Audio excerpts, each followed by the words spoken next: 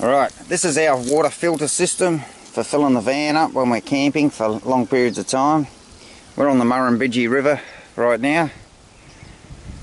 And what, I, what I've got for a setup is a simple filter there. And that's just to keep the bugs out, any sticks, whatever that's floating down. Then it goes through the pump. And the first one is a 0.5 micron uh, particle filter and then I've got a carbon filter and then I've got a best which is really another carbon filter in theory. So uh, and then I've got 40 meters of hose. The pump is identical one to what's in our caravan. It's a 7 amp pump.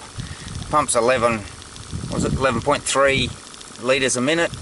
Obviously it doesn't pump that once it's gone 40 meters but it's it's good it doesn't get hot. It, it it's doing its job.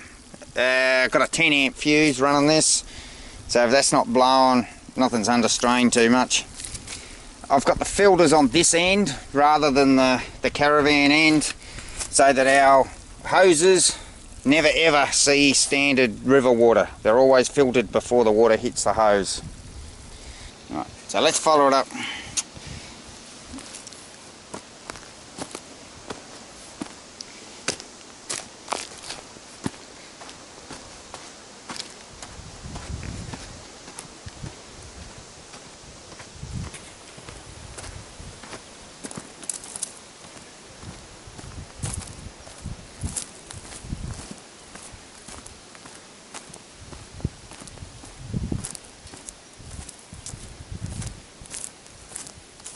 Right, just got it going straight over the top there, around,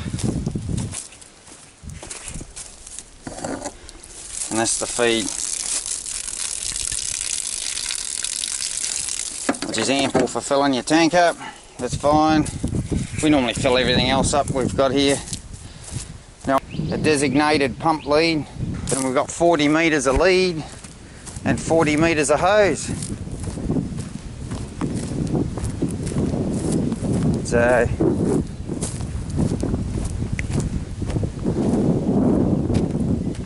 does the job quite well.